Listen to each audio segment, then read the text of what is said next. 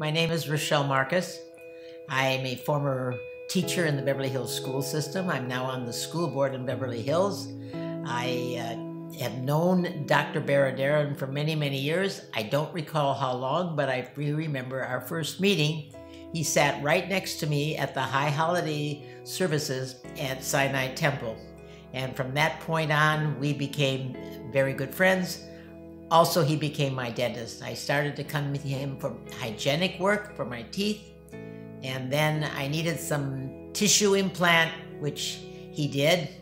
A few years later, he did a, a bone insert or a implant, and both of them were very, very successful. I've never had a problem with any of them in all the years.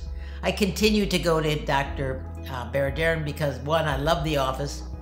Two, the hygienist that I go to is superb. I always feel very, very, very, very good when he walks in the office to do an examination of my teeth. I always feel that I'm getting something just a little bit extra special. You are a perfect example of a successful patient because your treatment follows a very compliant regimen. You have followed my recommendations of coming in every three months. Some patients do, some patients don't. And the ones who do reap the benefits like yourself so that you can keep your teeth the rest of your life. We love having you come to the office.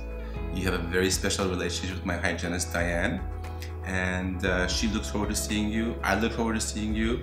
And you allow us to take the x-rays when necessary so that if an area should have a problem, we can get to it at an early stage. So this is a good marriage between a patient and a periodontist to be able to keep your teeth as long as you can. So thank you for doing that. Well, I'm sure that I will be keeping them for a long time because you'll see to it. I look forward to always seeing that smile and, and being treated what I think is extra special. So Rachelle is a legendary educator in the city of Beverly Hills. She's been in the field of education for 55 years. Many of my other patients were her patients as teenagers.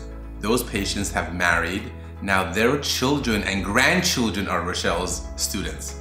So it's an honor to have you as a patient and you've done an amazing job and a profound difference in our community educating our kids. So thank you. Oh, my pleasure. Thank, thank you. you for those kind words. Of course.